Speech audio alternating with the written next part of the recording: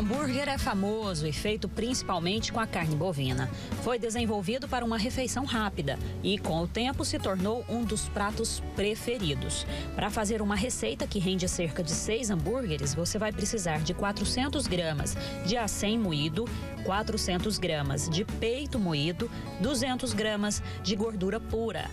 Geralmente o hambúrguer é aquele colocado ali no sanduíche. Hoje a gente vai ensinar para você esse prato super tradicional. Você vai poder fazer o dia do hambúrguer, o dia do sanduíche junto em casa, juntar todo mundo e fazer aquele belo prato. Quem vai ensinar é o Guga, que trabalha com gastronomia há 30 anos, então ninguém melhor para poder ensinar a gente. Já vamos começar com um segredo, que é o blend. Isso. O que, que é isso? Que blend é esse? Blend é exatamente o mix de carne que você faz uma composição que vai fazer o teu hambúrguer. Você trabalha com 30% quando você for fazer o seu, o seu hambúrguer para a churrasqueira de gordura. Por quê? Porque a churrasqueira vai queimar mais a sua gordura. Uhum. Então você precisa um pouco mais dela, certo? E você trabalha com 20% de composição de gordura para a chapa. Pede para o açougueiro moer uma vez só, tá bom? Não é duas. E você vai fazer aqui um processo que a gente chama de homogeneização. No muque ali. No muque mesmo, certo? Então, quando você chega a essa condição, você tá vendo que ela soltou do bolo. Ó, ela soltou, tá vendo? Uhum. É porque ela já está homogênea. Você tira o tanto que você quer e você vai fazer, fazer uma bolinha. esse movimento, fazer a bolinha. Olha só a diferença dela depois que eu faço esse processo. Feitas as bolinhas. Feitas as bolinhas. Agora. Nós vamos modelar. Amassar ele. Isso. Se você tem um aro, evidentemente você faz um hambúrguer para ficar mais bonitinho. Então aqui eu tenho o meu hambúrguer modelado. Bom, qual outra forma de você fazer? Literalmente, que ele é, novamente é raiz mesmo, aqui. Tá vendo? Certo. logicamente dá um, né, uma maneira Acho que eu até poder... prefiro assim.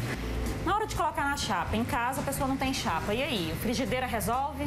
Sim. Importante alguns detalhes. De preferência, uma frigideira de teflon. Uhum. Porque eu preciso dessa frigideira quente. O hambúrguer tem que ser selado. Bem não quente cozido. mesmo. Exatamente. Na hora que ela entra na chapa, no caso da frigideira, ela já tem que selar. Uhum. Por quê? Quando você sela, né, você fecha os poros da carne, ou seja, ela não solta água. Não e solta água, fica suculenta. Hum, você vai botar um pouquinho de óleo, não tanto óleo, só para você untar. Olha o quanto a minha chapa está quente. Hambúrguer. Ok? Não pode chegar aqui e fazer isso. Que hora que eu viro? Na hora que você vê, mais ou menos aqui assim, ó, ele já está marronzinho. É hora que você vai chegar e virar. Nessa hora aqui é a hora o sal. De se colocar o sal.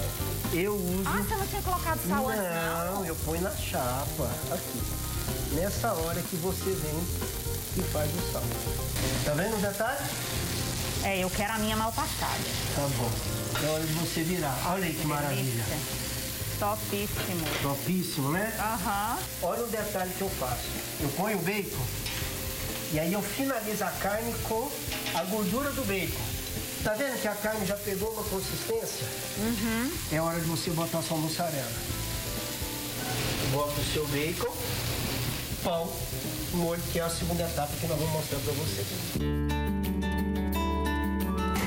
que, que o molho tem que ser colocado na base do pão? Porque o tem que harmonizar com a carne. Você tem um hambúrguer descansando no molho, você vem com os bacons. Salada. Então esse sim é o legítimo hambúrguer artesanal.